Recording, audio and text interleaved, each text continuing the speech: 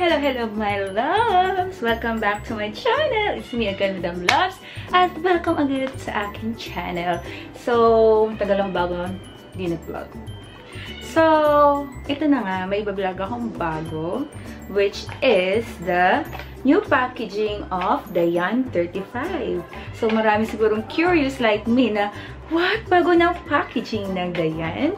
So, tingnan natin. Please watch out! Panoorin mga dulo.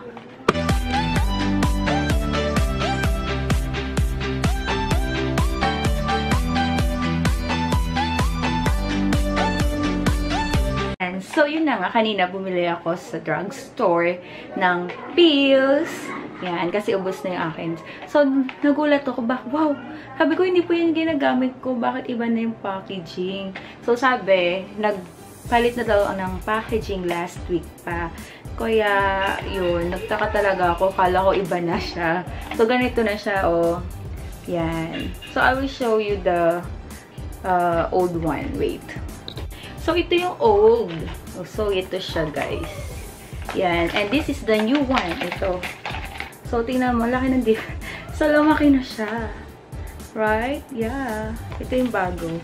Ito yung old. So, wala na pinagbago sa kanyang uh, sa may uh, labas, sa picture. Same. Then, sa likod, same pa rin namin nakalagay na yan. Cyproterone acetate plus, what do you call that? Yan. Ayan. 21 tablets pa rin by Bayer. Yan. Anti-androgen therapy. Yan. Manufactured by Bayer Weimar. So, same pa rin. Yan. So, pinagkaiba lang yung packaging. So, ito. So, medyo nagmahal nga lang siya ng onte. Kasi ito, 672. This one is 650 plus lang before. So, ito, 672. Yan o. Oh. Yan o. Oh. Meron siyang price. Nakita nyo. Oh, yung focus. Hey! Yan. Kita nyo. Yan. So, ngayon, syempre, para saan ba yung pills? Syempre, kung ayaw pa magbuntis, yan. Kailangan uminom ng pills. Also, marami namang mga, we call that, mga para hindi mabuntis. So, ito yung mas prefer ko kasi mas ko siya itong Dian 35. So, let's open na. Charan! Yan. Nakabibili ko lang siya. Oh! So, ganito na itsura niya, guys. So, before yan, ito muna papakita ko. Siyempre, meron silang pamphlet. Yan. Na sobrang kapal. Sana binabasa niya rin to. Kasi lahat ng katanungan nyo ay nandito. Yan. Look kung gano'n siya kahaba. Pagtsagaan nyo lang nabasahin. Wow, ang haba. Look. Yan. Imagine. Yan. And then, ito na yung laman niya, guys. Ito na yung itsura niyang bago. Yan. Yan. So, anong pinagbago? So, wala. Naging ano lang, rectangle. So, ganun pa din. So, nag-umpisa pa rin siya ng, ayan, papakita ko. Wait, sana mag-focus. Ayan, nag-umpisa pa rin Sunday, Monday, Tuesday, Wednesday, hanggang Friday. So, na, kung nakikita nyo, may mga arrow. So, yun yung susundan nyo. For example, Sunday ang first menstrual Sunday kayo inom, syempre. So, Sunday, dito nyo umpisahan, pag ganun. Yan yung arrow, ha? Yan ang susundan ninyo. Yan, pababa hanggang doon. So, dito kayo mag-e-end. So, bakit 21 tablets lang? So, may 7-day rest So, yun yung time na menstruation nyo. Doon kayo, yun yung araw na kayo ay re-reglahin. So, yung 7 days na yun, maaring sa 4th day, kayo magkaroon ng mens. Minsan nga, sa ika-5th day, kayo magkaroon ng mga, uh, ng menstruation. Mga love. So, explain ko lang ulit ha. So, ito. As I've said a while ago, Sunday kayo first nominom.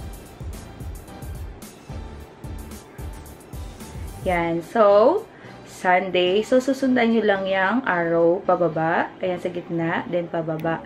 So, ang last na inom nyo dito is Saturday.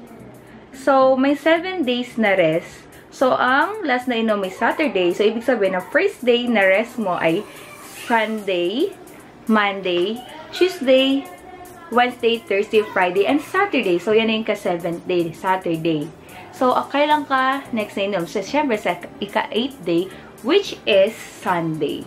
So, kung ano una mong araw na pag-inom ng pills, yun na yung uh, every month mo na pag-inom na umpisa. After ng 7 days, rest. Ganon yan. Yan, papakita ko naman yung difference ng isa.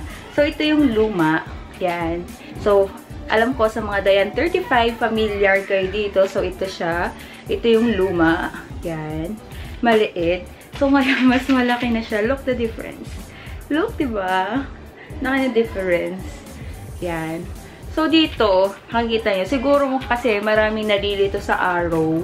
Kaya ito, mas nilakihan nila. At mas malinaw na siya. At mas madali na siyang sundin. O, yan na, yung arrow na susundin ninyo. So, madami nagtatanong kung kailan pa talaga ang first na pag-inom ng, dahil lalo na sa mga first time user na o gustong gumamit ng Dian 25. So, based sa mga sabi ng mga doktor, mga OB, yan, ang magandang pag-inom daw ng pills ay sa first day of menstruation. So, yan. So, yan. For example, ang first day o first patak ng yung menstruation ay Monday. So, Monday kayo inom. Ganon. Yun. Ayan. So, for me, kung mas tatanungan ako kung ano yung mas magandang packaging, ngayon, syempre, dun ako sa baboy. Yan, no? Mas malinaw siya. Unlike dito. Kahit na medyo mas malaki to. Pero mas malinaw yung kanyang uh, paggamit kasi yung mga arrow, mas malinaw. Unlike dito na parang ang nakakalito kasi sobrang liit. Yan. Kaya marami nagtatanong, paano po kung nalagpasan ko yung isa? Ganyan.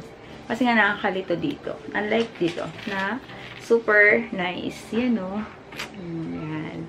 Yes, sa mga nagtatanong, uh, matagal na akong gumagamit ng Dian 35. So, one year mahigit na akong nagpipills. So, hiyang ko naman siya. Nakakaputi. Nakakaganda ng kutis. Yan. So, yan yung mga benefits niya. So, sabi din ng mga OB, uh, per year ka rin dapat nagpapa-ultrasound sa pelvic ultrasound para makita mo kung may mga something sa iyong mattress. Ganon. Kasi minsan daw, pag sobrang tagal mong uminom ng pills, kumakapal ang lining ng iyong mattress. Kaya kailangan mo din ipa-check. Diba? Kaya yung iba, kung hindi hiyang sa pills, gumagamit sila ng other alternative na uh, para hindi sila mabuntis. Yan. Ito, marami nagtatanong paano kung nakaligtaan nilang uminom ng pills. For example, nakaligtaan nila o nakalimutan nilang uminom ng tablet na isa. So, anong dapat mong gawin? For example, nakalimutan mo ng Friday. For example, umaga ka uminom. Friday na umaga, nakalimutan mo. Then, naalala mo nung Saturday na. So, ang dapat mong gawin is ipagsabay mo yung Friday na tablet at yung pang Saturday na tablet. So, yan yung sabi ng aking OB. Ayan, para hindi nga mabuntis. Siyempre, di ba, pag in-stop mo uminom ng pills, tapos nag-contact kayo, so merong possi possibility na ikaw ay mabuntis. Then, for example, paano naman kung 3 days, 4 days mo nang nakalimutan na mag-pills?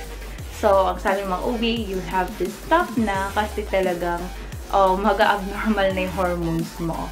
So, hindi na kaya yung habulin, kaya you need to stop.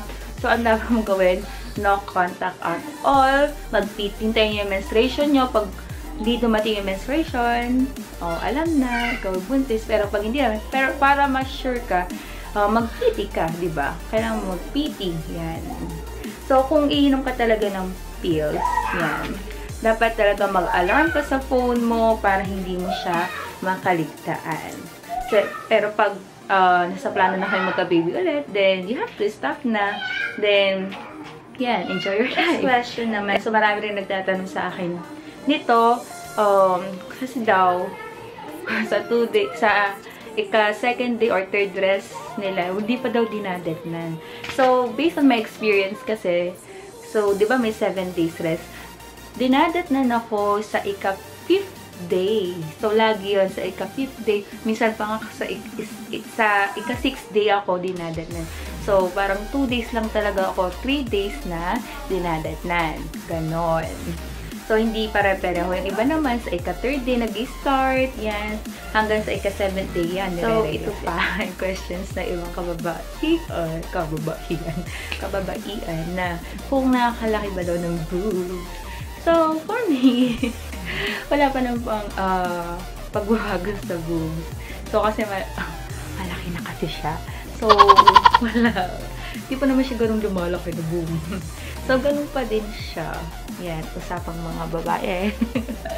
ganun. So, hindi naman sa kalaki yan na. So, sakto lang. Pero, hindi naman lumalaki. Pero, nakakataba ba? So, for me, hindi pa naman ako ganun tumataba. Same there, friend. Wow.